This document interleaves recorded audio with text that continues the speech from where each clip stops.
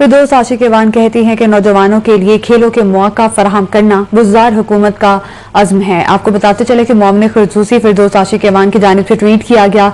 कहा गया कि नौजवानों के लिए खेलों के मौका फराहम करना बुजदार हुकूमत का अज़म है और इंटर डिवीज़न हॉकी चैंपियनशिप का आगाज़ आज से होगा। इसी बात करेंगे, हमारे साथ मौजूद है हमारे नुमाइंदा लियाकत अली। लियाकत अली, बताइएगा इस ट्वीट के हवाले से। डॉक्टर फरदासा ने कहा है कि मार्च में नजरअंदाज किए गए कौमी खेल हाकी की बेहतरी के लिए जो है पंजाब हुकूमत इकदाम उठा रही है और वज़ीर पंजाब उस्मान गुस्तार की ज़रिए सरपस्ती पहली कायद इंटर डिवीज़न हॉकी चैंपियनशिप का आगाज़ आज नेशनल हॉकी स्टेडियम लाहौर पे होगा।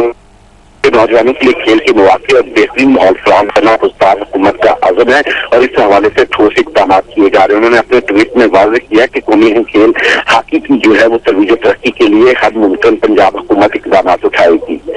ठीक है, बहुत शुक्रिया आपका, लियाकत अली।